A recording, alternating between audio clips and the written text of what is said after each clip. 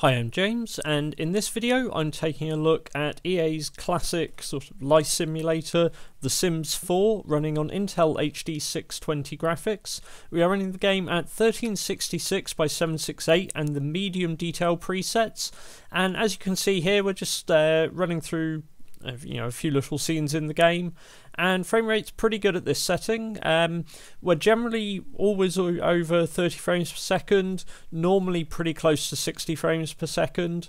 Um, I try sort of zooming in on some more detailed scenes here and also zooming out and yeah frame rate's generally pretty good. For a game like this anyway it's not particularly sort of requiring fast responses, and I really don't see any issue with playing this. I mean, the game's uh, older title anyway, but I know a lot of people still play and enjoy it.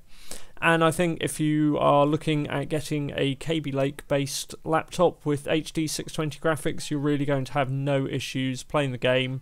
Uh, it looks quite good on these settings, and it should be a pretty enjoyable experience.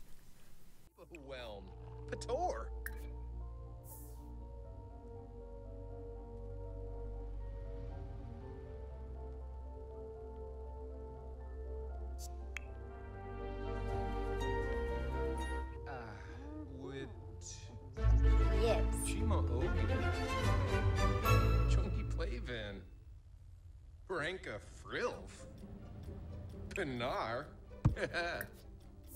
Ah, Wituni Jown?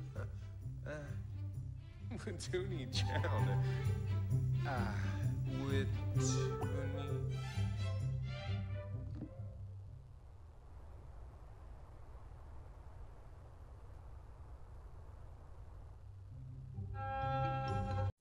I hope you found this video useful. If you'd like to see more from us in the future, be sure to hit the subscribe button. We've got plenty more videos we're sure you'll enjoy as well, looking at gaming on other platforms. And support us on Patreon if you want to have your say on what we test in the future. Thanks for watching.